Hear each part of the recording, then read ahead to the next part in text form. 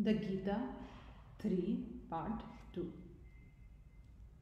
In India, it has come down as a tradition that if there is a God, he must be your God and my God. To whom does the sun belong? You say Uncle Sam is everybody's uncle. If there is a God, you ought to be able to see him. If not, let him go. Each one thinks his method is best. Very good. But remember, it may be good for you. One food which is indigestible to one is very digestible to another. Because it is good for you, do not jump to that conclusion that your method is everybody's method, that Jack's coat fit John and Mary. All the uneducated, uncultured, unthinking men and women have been put into that sort of straight jacket. Think for yourselves, become atheists, become materialists, that would be better. Exercise the mind. What right have you to say that this man's method is wrong? It may be wrong for you. That is to say, if you undertake the method, you will be degraded, but that does not mean that he will be degraded. Therefore, says Krishna, if you have knowledge and see a man weak, do not condemn him. Go to his level and help him if you can. He must grow. I can put five bucketfuls of knowledge into his head in five hours. But what good will it do? He will be a little worse than before.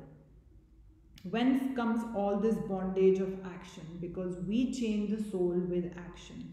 According to our Indian system, there are two existences nature on the one side and the self, the Atma, on the other. By the word nature is meant not only all this material world, but also our bodies, the mind, the will, even down to what says I. Beyond all that is the infinite life and light of the soul, the self, the Atma. According to this philosophy, the self is entirely separate from nature, always was and always will be. There never was a time when the spirit could be identified even with the mind. It is self evident that the food you eat is manufacturing the mind all the time. It is matter. The self is above any connection with food. Whether you eat or not does not matter. Whether you think or not does not matter. It is infinite light. Its light is the same always. If you put a blue or a green glass before a light, what has that got to do with the light? Its color is unchangeable. It is the mind which changes and gives the different colors. The moment the spirit leaves the body, the whole thing goes to pieces. The reality in nature is spirit. Reality itself, the light of the spirit, moves and speaks and does everything through our bodies, minds, etc. It is the energy and the soul and the life of the spirit that is being worked upon in different ways by matter. The spirit is the cause of all our thoughts and body action and everything, but it is untouched by good or evil, pleasure or pain, heat or cold, and all the dualism of nature, although it lends its light to everything. Therefore, Arjun, all these actions are in nature Nature is working out her own laws in our bodies and minds. We identify ourselves with nature and say, I am doing this. This way, delusion seizes us. We always act under some compulsion. When hunger compels me, I eat. And suffering is still worse slavery.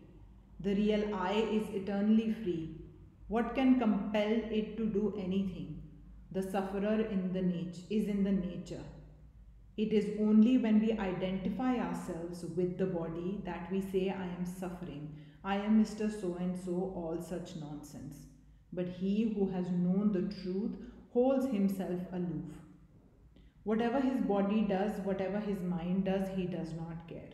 But mind you, the vast majority of mankind are under this delusion. And whenever they do any good, they feel that they are the doers they are not yet able to understand higher philosophy. Do not disturb their faith.